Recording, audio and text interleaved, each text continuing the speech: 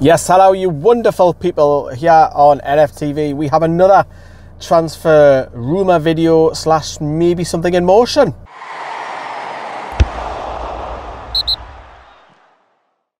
Yes, hello everyone. I hope you're doing well. I am literally just finished work, just on Scotty Road, heading yem, and I thought I'd pull over, quickly get a video out so I can edit this back yem. So, um, yeah, Sesko. Do you know about the Slovenia kid that we've been linked to? Now, I wanted to talk a little bit about him because he's an absolute giant of a young man.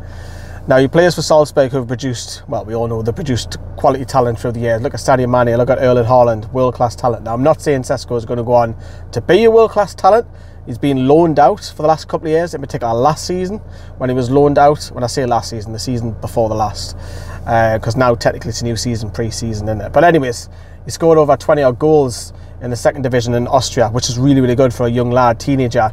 And that he scored um, in all competitions for Salzburg last season 10 goals. Now, he wasn't an out and out regular. He, there were some games where he'll come off the bench and some games he'll start, so he's more of a rotated player. But being really young, he's already got what 12, 13 caps for Slovenia, a couple of goals for them. So he, he's he's a he's a prospect.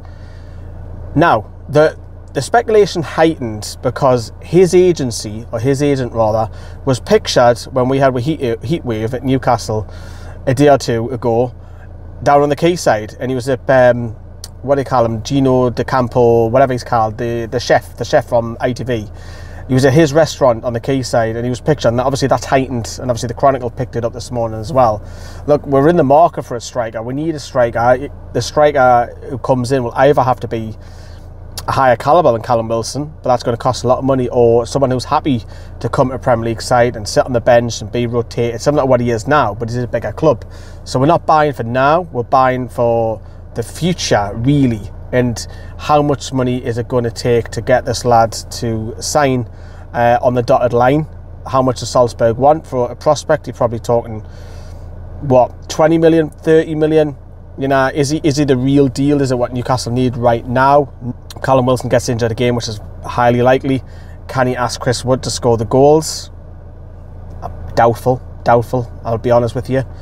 So we do need another striker. If we get him in, um, you know, I'm not going to slate him, but you've got to give him time, of course. But it's a, it's a, it's a lot for a young lad if we were to get this this lad to come in, Sesko. And look, I didn't know much too much about him. Uh, I'm an expert Austri- Austrian football. Of course I am. Or of course I'm not. And I said I am there, but we'll see. Maybe it's just another transfer rumour. Who knows? I want to know what you think on that because we do need a striker in desperately. Uh, I, have seen a couple of people on social media get a little bit panicky that we haven't signed anyone forwards yet. Just, just, just take your time take your time. We've still got until, you know, plenty of time. We've still got another five, six weeks before the window closes. Plenty of time, man. Loads of time. But, interestingly, some movement, and it seems to be um, happened this evening, early this evening, that Dwight Gayle is potentially on his way now. I did a video last night. If you haven't seen that, go check it out. Where Eddie Howe said that Dwight Gayle is literally, there's no future for him anymore. And they need to go out and play. And it looks like he could be going to Stoke City. Now, if Dwight Gayle joins any championship side, he'll score goals. Even if even if he is 33, he will. And Stoke will be in the higher end of the of the table because of his goals. He's guaranteed goals at that level. So Stoke will be in in amongst it automatic or even playoffs just by having a fit Dwight Gayle. If that is the key. if he's fit all season, he'll score you 20 odd goals without a shadow of a doubt. And that'll be a good move for them, whether it's a free, which probably we're not going to get too much money. I can't see Stoke going crazy. It looks like it could be a free, or maybe it's a loan. We've seen Jeff Hendrick and Ciaran Clark head out and loan to championship clubs. This one could be that. The speculation that it's a free one, it could be a loan. Uh, will Newcastle pay pay towards his wages? If he's on 50k and so on down Stoke, you'll probably see so. Newcastle are probably going to chip in for, for these wages uh, to help Newcastle reduce the wage cost, even if they are chipping in. So it's an interesting one with Dwight Gayle. We'll have to see how that develops. But look, we all know he's Eddie Howe said it officially. You need to move for his own benefit, for his own career in the twilight of his years now. But yeah, so Dwight Gayle looks like potentially could be heading out to Championship side. He obviously was linked to Middlesbrough for a long time. Probably wouldn't need to relocate to Middlesbrough because you can just drive and it takes under an hour to get down to Boro.